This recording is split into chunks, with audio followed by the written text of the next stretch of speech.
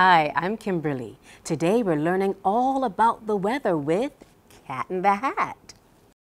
I'm Cat in the Hat and it's raining, I know. But let's not stay inside. We've got places to go. Where the sunshine is shining, where warm winds are blowing, where lightning is flashing, where snowflakes are snowing. The weather is changing. Come on, let's get going. First stop is the top of Mount Karakaku, where they study the weather. That's all that they do. Watching the weather helps everyone know what to wear, where to live, and what food they can grow. Pilots check weather when they fly a plane. Are they flying in sunshine or clouds filled with rain? Corn grows where it's hot, rice grows where it's wet. Farmers grow what grows best in the weather they get. Meteorologists forecast the weather and say what kind of weather is heading our way. They send weather balloons floating high into the air to measure how hot or how cold it is there. Air temperature affects the weather a lot. Thermometers show if it's cold or if it's hot.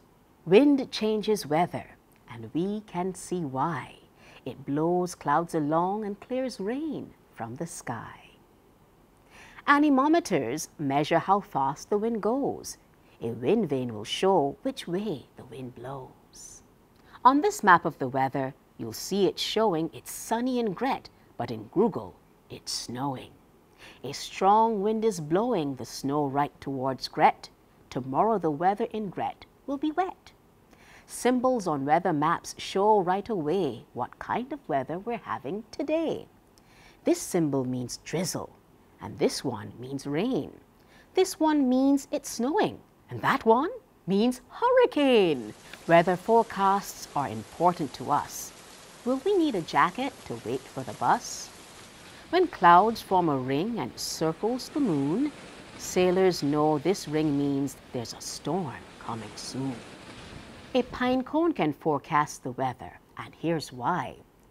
It's closed when it's wet, opened up when it's dry. Here's a fact that we cannot explain. Frogs croak a lot more when it's going to rain. There are all kinds of clouds you can see in the sky. Cirrus are light, wispy clouds just floating by. Cumulonimbus clouds means there's a storm on the way. You see cumulus clouds on a warm, sunny day.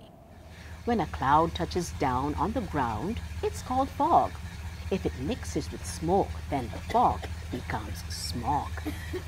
a fun way to learn a cloud shape is to draw it.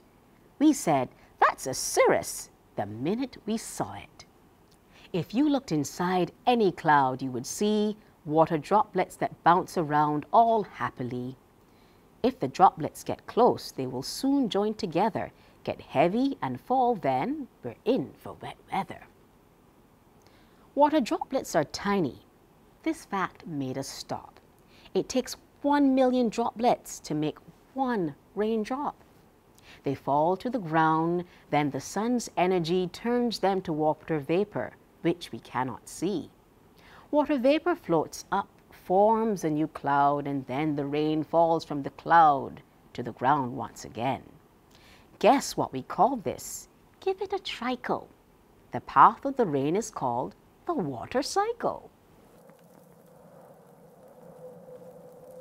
Here are some words that we learned on vacation. Rain, snow, sleet, and hail are all called precipitation. Water changing to vapor is called evaporation. Vapor changing to water is called condensation. Who invented umbrellas? Well, we don't know who, but umbrellas were first made in China. It's true. Out of colorful paper and wood called bamboo. Thousands of years ago, they were first made so out in the sun folks would walk in the shade. When it rained, they put wax on the paper. Here's why. Rain rolled off the wax, which kept folks nice and dry. When air's warmer than freezing, I'd like to explain Water falls from the clouds and it falls down as rain. When air is freezing cold, it's important to know water falls from the clouds, but it falls down as snow. If you magnify snowflakes the way that we are, you will see that each one is a six-pointed star. They're made up of crystals, and each one you'll find is like no other snowflake. One of a kind. The desert is dry, and the reason is clear. Its rainfall is less than 10 inches a year. Here's a word, and we both like to rhyme it. The weather a place has the most is its climate. How do you keep cool when you live in a land that's hot and dry and dusty and covered in sand? Loose-fitting clothes lets breezes blow through, and light colors bounce the sun's rays off of you. Where on earth is it coldest? Meteorologists say Antarctica is freezing cold every day. Land covered in ice and deep drifting snow, the air is so cold that plants cannot grow. How thick is ice here? That made us think quick. We're standing on ice, 7,000 feet thick. We use a thermometer and now we know the air is colder than deep in the snow.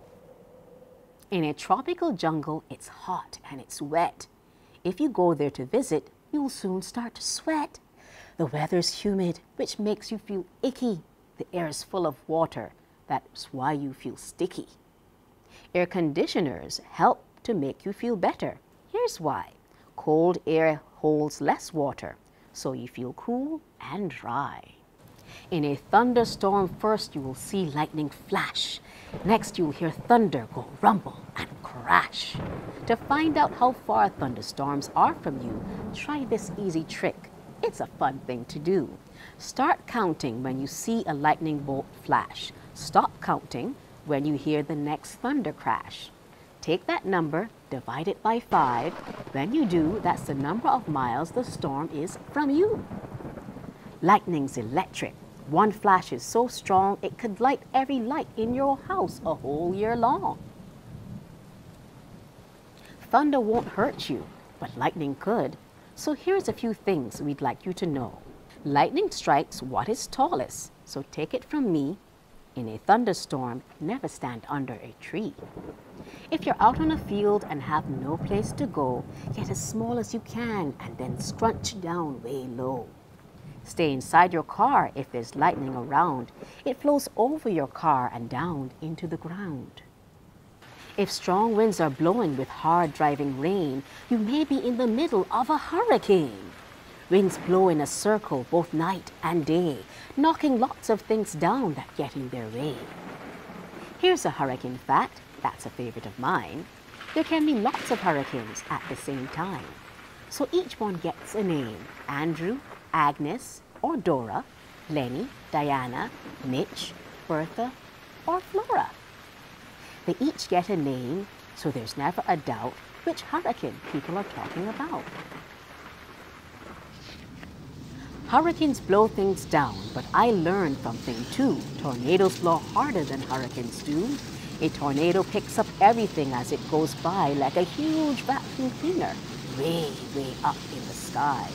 It spins like a top, twirling round and round, pulling trees, cars, and houses right off the ground.